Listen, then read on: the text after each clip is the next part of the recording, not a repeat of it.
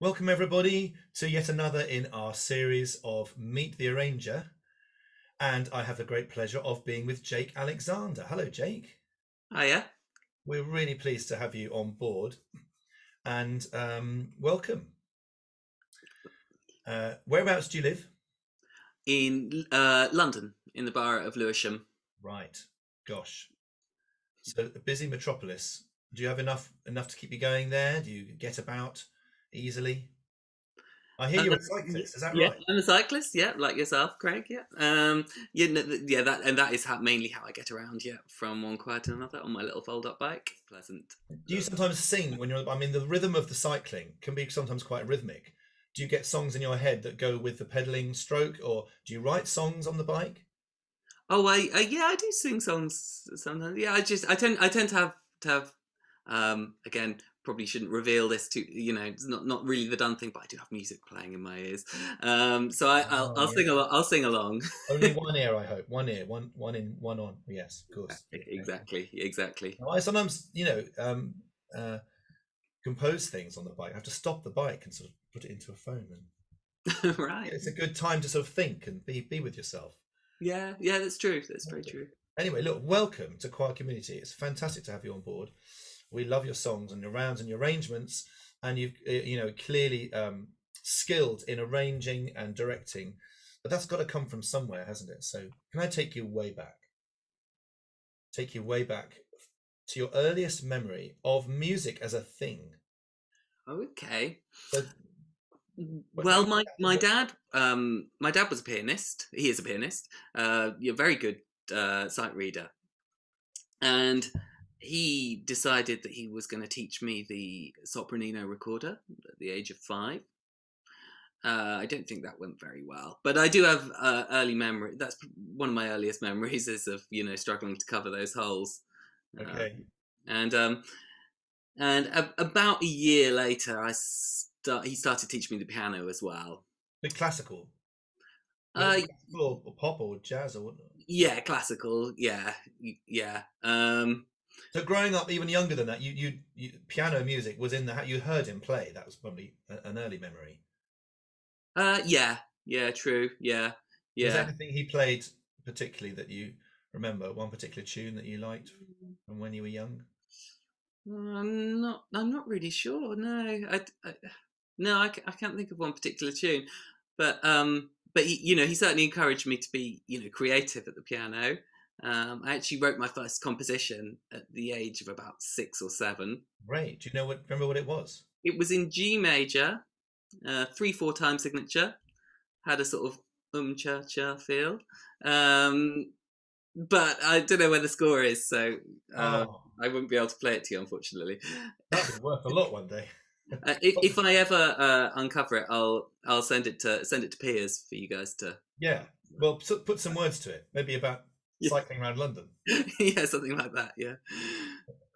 Uh, that's great. Um, okay, so early years, Dad taught you the piano recorder.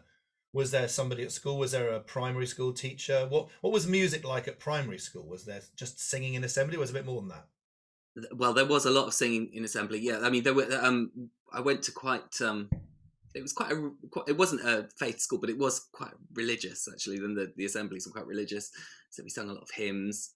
Um, there were. I mean, there were so. There've been so many amazing teachers actually in my life. In primary school, um, there was there was Mrs. O'Shea who would uh, tolerate and encourage me and my friend to uh, come and play piano in her class after school um, which you know it doesn't sound like very much but you know sometimes that space and opportunity that's all you that's all you really need um, as a kid. Um, and then going into um, going into secondary school um, th- th- I had a I had a again a lovely a lovely music teacher called Chris Evans and um, and he'll always have a special place in my heart just for leaving the music block unlocked or or giving us the keys to the music block and trusting us with it. Um and and again just giving us the space to you know just mess around and uh and you know get away from all the other kids Yeah, I'm interested in the the songs and the things and the music that kind of switches you on. So just to, back to the primary school again. Was there a particular song that she taught you, or an assembly song that sort of made an impression on you? And can you remember, remember thinking that, and why? Was there a song you particularly liked? And um, it, it was well, we occasionally there would there would be a non-religious one thrown in there. I remember one about uh, I, I remember one about the next. It was called the Next Generation. I think it was. I think it was called, and it was an it was an environmental song because back back in those days it was all about the hole in the ozone layer. Um, and this song, you know, it talked about that, and it talked about oil slicks. That was a big thing back then, and obviously, I was growing up in Cornwall. That was a, that was an even bigger thing. Oh. Um, and um, and you know, I, I, suppose on some level that might have shaped my my kind of uh, um, my you know later might have been a, a kind of uh, subconscious influence on on my later writing. I like to write stuff that has some kind of um, socially conscious message. That sounds yes. Oh, that inspired you. Excellent. Mm. Um, did you have any way of listening to music when you were little? Um, um, my, my my I got given a cassette recorder when I was, or, um, you know, back in the back in the day. They had these little cassette recorders. do you have a radio or a cassette or something that where you could hear the music that was out there? You know, there was a record player in the house. Did you? What was your first record? Is, is, well, my my dad would would always have Radio Three on. Right, like, like constantly all you know all day. It would just be playing in the kitchen. Wow. You know, he'd be in and out, and um, um, so there was that. Um, what was I into? Uh, I had a little, I had a little yellow uh, Walkman with uh, okay. with big big uh, rubber buttons on the top, and you know used to play my my nursery rhymes, Puff okay. Magic Dragon, stuff like that. after that, so when was your first entry into pop music? Did you did you were you able to buy records with your? I'm, I'm hoping vinyl was still there, um, with your pocket money. Right. Well, yeah. So so I think me getting really getting into music, uh, you know, my own kind of music, that mm. was really the spur for me becoming obsessed with, you know, playing and stuff like that. And that was when I was about 13 or 14. Okay. Um, and I, um, you know, I've, I've, I, I, I think one of the moments looking back, the, the, the, the one, the one kind of, uh, moment when I realized the power of, of music.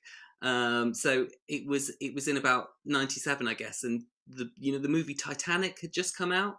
Okay.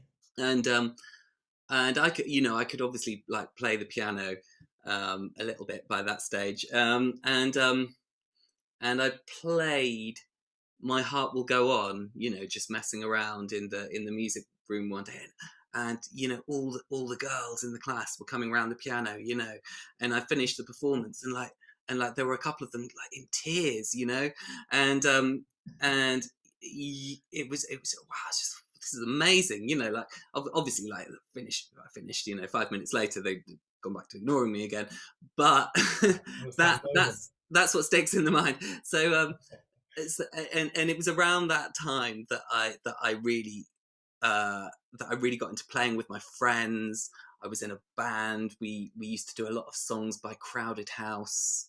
Very tasteful. Yeah, thank you. Yeah, um, one day. yeah, yeah. that I think that might have been. Uh, did you say four seasons in one day? Yeah, lovely song. That was. That, I think that was probably the first song that we ever did. Okay. Actually, in the band, four seasons in one day.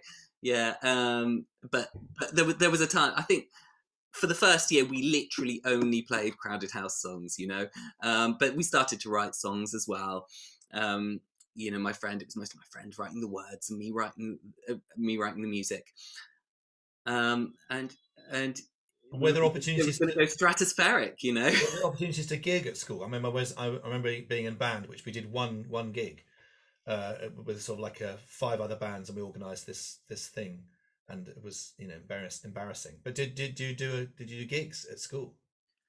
Yeah, I mean we we we played in school assemblies, stuff like that. Um, some went better than others. Um, you know, uh, assembly. Goodness. I know that's scary, right? Well, it's a good school. That show, you know, it's good, good forward-thinking, modern school. that didn't happen in my day. yeah, well, you know, I think they were just kind of quite, quite, quite kind of hands off. The, the the school didn't. The school I went to, like I said, a wonderful music teacher and everything, but I think the school as a whole didn't really value music.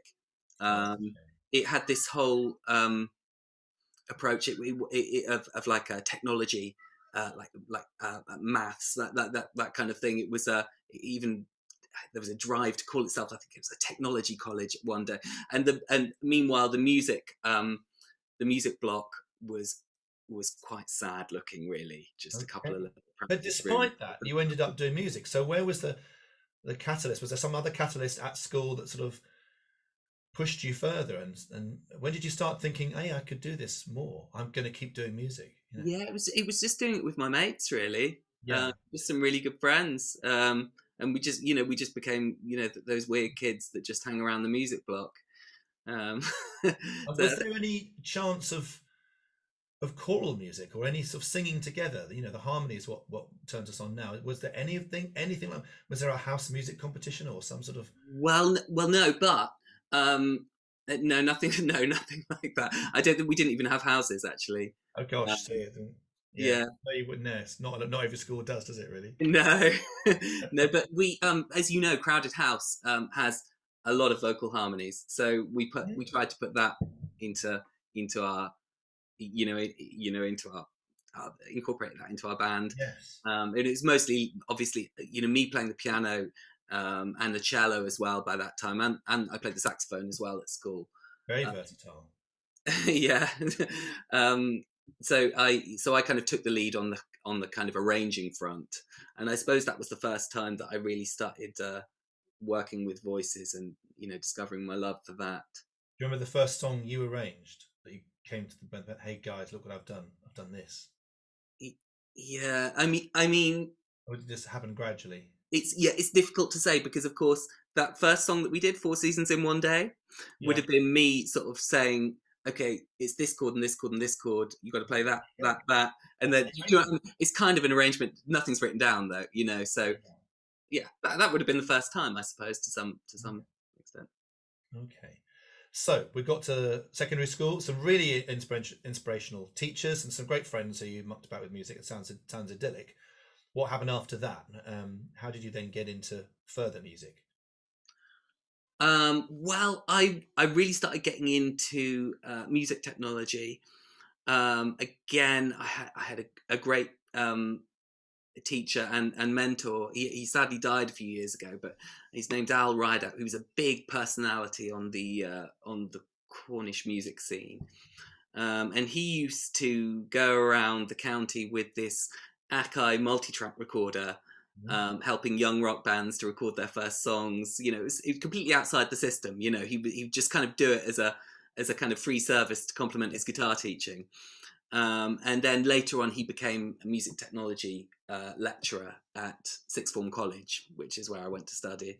Um, and, and and so when I was at Sixth Form College, I I did other A levels as well, but the only ones I was really interested in were music and music technology.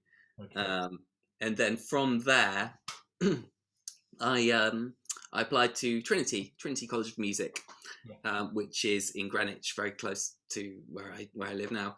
Um, and I went up there to study composition. Right. So composing became your main musical thread, as it were.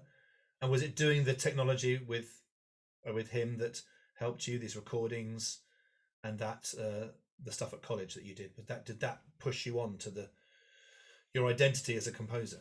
Yeah, most definitely. And and that that interest in in technology that still kind of that still serves me well actually. Um.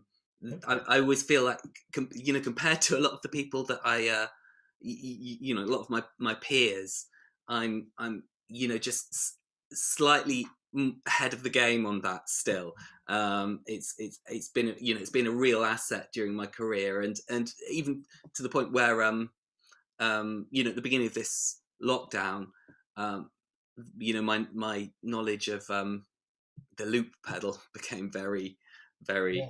Beneficial to uh, to being able to continue rehearsals. Cool. So you know, I'm I'm you know I'm very grateful for that sort of introduction into into music tech. So did you use to use the technology um, for making the compositions, or were you were you writing for ensembles? I mean, did you used to do it yourself and program up and that sort of thing? Were you using a program like Cakewalk or Yeah, I was using Cube, Cubase? Or, or initially, or it was I had one uh, I had one called Cubasis, which was the only one light enough to run on my on my mother's um, work computer. So um, so that that was the first uh, DAW. Um, with um, outboard MIDI instruments? yeah, I had a, had a, a keyboard. Yeah, with with one of those proper old MIDI cables that you never see anymore. The Yeah. five pin DIN. Yeah, yeah. Yeah, been there. Excellent. So, and all right, give name me a really successful composition that you did at Trinity that you were very pleased with that, that went well. Ah, Really spurred you on to greater things. Um, well, I, I wrote one. I I- I had I had a, a Finnish girlfriend at the time, and I wrote a song in Finnish using um using uh some, some you know some Finnish text from from the Kalevala, which is like their national epic in Finland, and uh, and that was for four voices. That that was that was long. That was that was about ten minutes long. Um, yeah so that um uh, that that was that was something i was very pleased with um and i also when i was at me and when i was at music college i uh, i um, i suppose one of the things that became very useful later on is that every time you do a new composition you'd have to um get people to get people to perform it. And being at music college there's, pl- there's plenty of people that you can call upon. Uh, but you you know some composers get other people to direct the ensemble but for me i um i always tried to direct it myself and conduct it myself. Um so that really stood me in good stead for later. And actually when i was at, at music college uh, as as i progressed i was finding i was writing more and more for voices and it, it just became apparent this is you know this is what i like the most. I like i like working with words Mm. you know? I um yeah almost to the point where i can't understand why why you wouldn't choose to have words in a piece of music you know words and music go so well together like why would you make that choice not not to include them you know um that's just that's just me though. that's not that's not uh That's interesting. disparagement way of looking at it. non instrumental And music. so there were obviously good enough, lots of singers at Trinity that they they were there singing your stuff. Was there a moment where you thought, I, "This is really now a choir. I've got a choir." How? Where did the choir thing start? Um, well, there were a couple of pieces that I did where I had what you might what you might be able to call a choir. There were about eight singers on stage, um, singing four parts. Um, of course, the more people you get involved, the more people you have to organise. so, so it would be a, it, it's a small choir, but but yeah, that that that was about the extent of it. They made a nice sound together. Yeah, exactly. No, they certainly did. Yeah. Yeah. And so, and was this what sort of style do you think you were writing at this time? Well, you, can you can you define it somehow? yeah, it was it was quite experimental. You know, at, at Trinity, there was there was pressure to to to try and be different in some way, um, And and and I understand that. You know, if you're not going to take risks at, at music college, you know why? Well, you know when when are you, when are you going to? um, so um, so so that and but that see, see when when you push people like myself the students to go outside their comfort zones weird things can happen right and and so i was writing stuff that was quite experimental quite strange sounding eh, sometimes perhaps a little bit ugly um Did you go into music, music theatre at all with sort of spacing and um, presentation? I mean, I once saw a, a piece called Michelangelo where Michelangelo was naked in a cage, suspended above a, you know, a stage with, and it was a piece of music. It wasn't. They called it music theatre. It was a bit. uh no i asked if i could have a naked performer on one occasion but um but but no i wasn't allowed yeah, there's got to be a ba- there's a boundary somewhere, isn't there? yeah i suppose And so, what would it sound like? I mean, just just give us a sort of what, you, what were you were you influenced by, you know, uh, Britten or more modern? More modern um, uh, sounding music than Um, yeah, more like um, uh, you know, like John Cage maybe. Okay. um, or you know, going back, um, you know, serialist composers like Webern, Yeah. Okay. um, yeah, or um, Is a- there and twelve note, twelve tone row stuff going on with, you know, people picking out the different se- semitones and everything. Yeah, I, I well, I wouldn't use the twelve tone row, but I would do stuff like um, I would I would use like maybe three notes, yeah, three note row or something like that. Um, it's like something slightly more minimalist, but still using quite mathematical principles. Um, but um, I mean, it's, it's it's very different to the kind of to the kind of stuff I've written uh, uh, since since leaving. So the, the the maths of music interests you in in some, in some way or other. Oh, you know, mathematics is uh, I love mathematics. Yeah. Yeah. Yeah. Yes, I, I I I really love the sort of the way that chords and relationships between keys are are perfectly balanced and all that all that business. Yeah, yeah. No, I can, I can, I can, I can imagine that from from uh, listening to your rounds actually, and and actually writing around you, you because you write. I we both write a lot of rounds, don't we? And um, and that that is quite that is quite a mathematical process. I think it's almost like filling in a Sudoku puzzle. I, I love the way you approach rounds, and I, and I, you know, um, uh, uh, give us a. Can you in any way define how your approach to that? How do you Um, start? Do you what do you start with the chord progression or the melody or do you? I mean, you love the words. Do the words immediately suggest a tune to you, or do you have to work at it? Um, yeah, sometimes, but um, I think I I take the approach that I that, that I take whenever I whenever I write a piece of music, which is that I I, I don't feel confident to be able confident enough to be able to um, do everything all at once. So if you break it down into its elements, it's much easier. So, for example, I will do the rhythm complete completely, you know, um, the entire rhythm before I set a note. Wow. Um, and then and then I'll work out for around uh, how I can break it down so that it you know fit the parts fit nicely on top of each other. So uh, say it has nine bars, that's obvious. You'll do three, three, three. Um, if it has eight, you'll probably do two, two, two, two. Yes. Um, so in four parts. If it has seven, you're kind of screwed. you, need- you need, you need to extend you, something somewhere. Yeah, you'll have to. Yes, and there are different ways around that. exactly, yeah. I And love that- how you- you set the Martin Luther King words only when it's dark enough, and you say the word you only four times before the rest of it.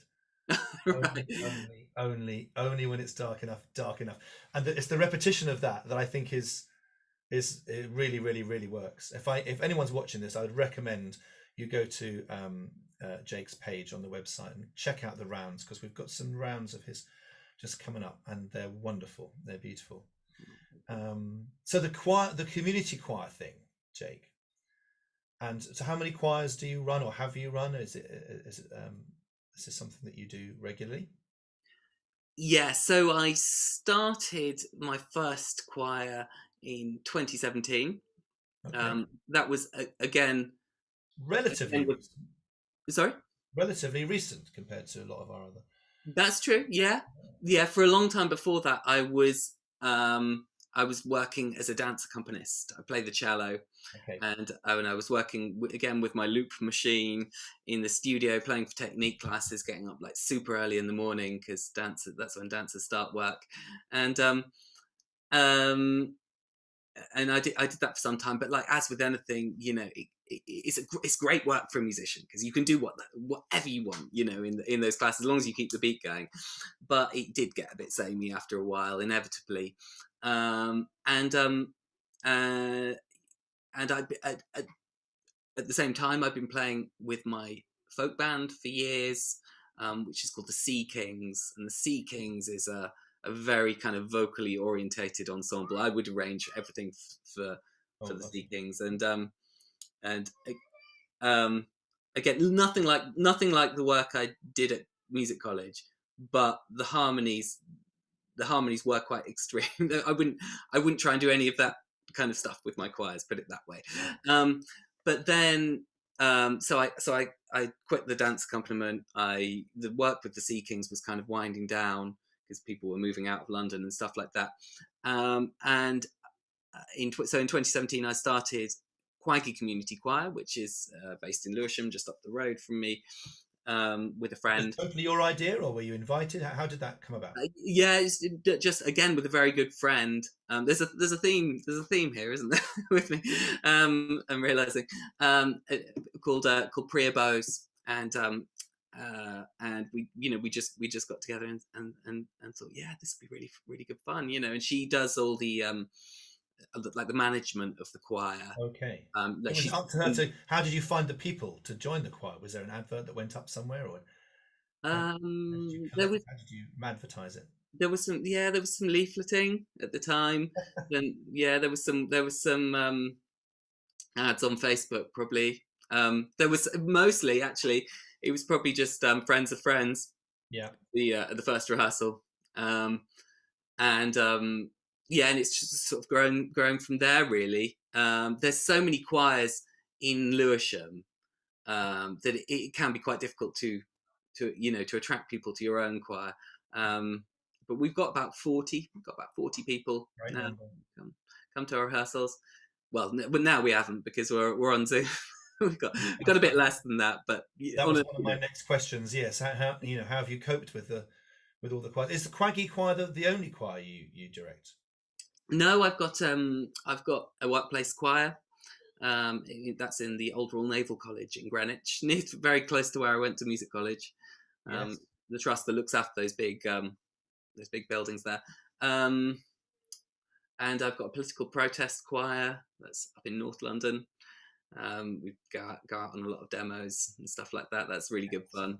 Do you go on all the marches and uh, sing and uh, sing as you go?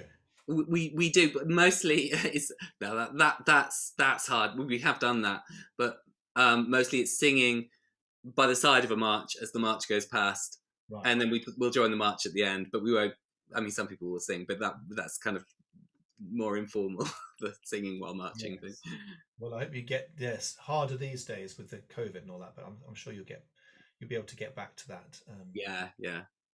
Yeah. when it happens Okay, can, and this is interesting. Name me one thing you've protested against in song, and how did you do it? This is fascinating. Um, the, the, I think the most memorable demo I've been on with them was uh, against the um, arms fair at the Excel Centre in London.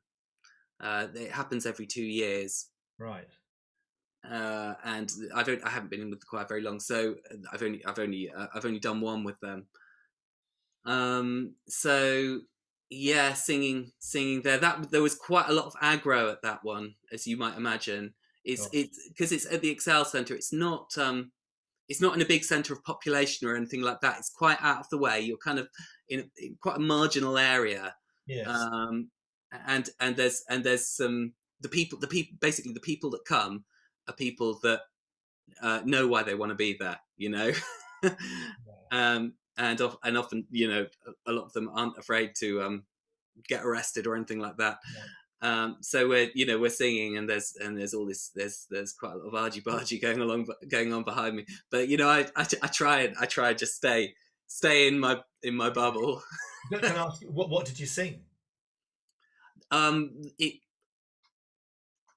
it, we have we have like set various set lists depending on the demo. Um, I'm just trying to think now. I mean, there's there's with that group does so many songs. There's probably about uh, you know in in three years with them, I've probably done about 200 songs, something like that.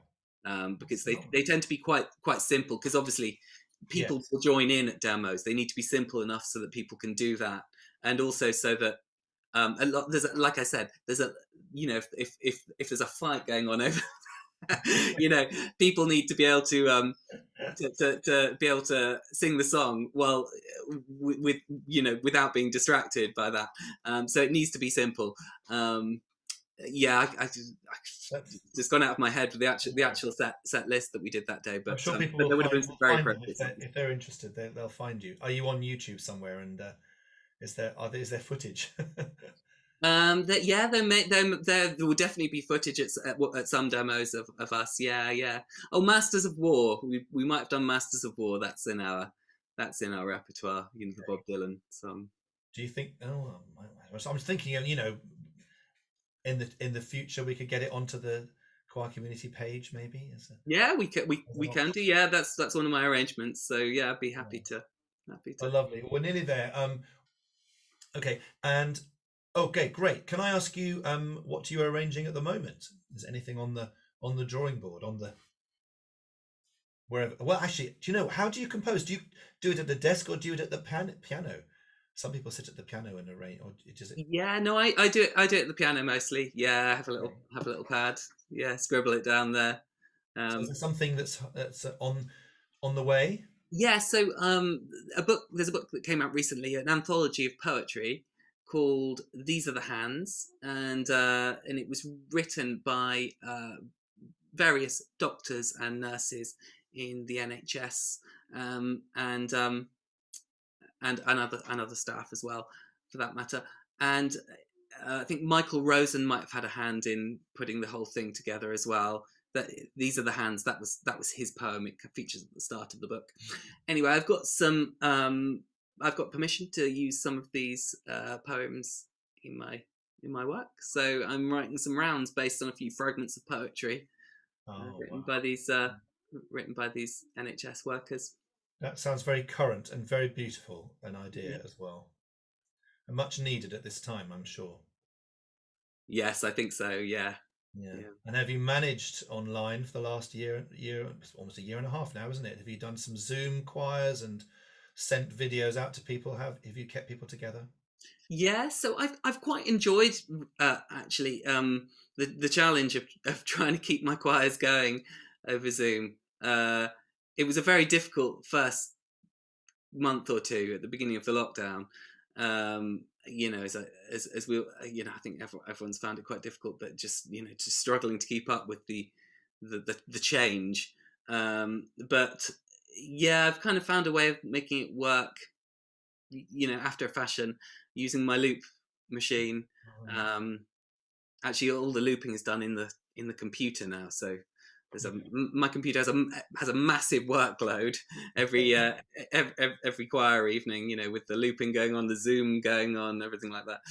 Um, but um, but I'm uh, you know obviously like everyone, I'm really looking forward to getting back to singing Are again. you, are you planning my- it? Are you, are you beginning to plan? Presuming June the twenty first, we're allowed to sing indoors again. yeah uh yeah if that is if if that is the date yeah. I, to be honest i'm not sure whether i'm not sure whether we will plan to come back then. I think we might wait until it's absolutely clear that we are allowed because we've had so many false starts actually.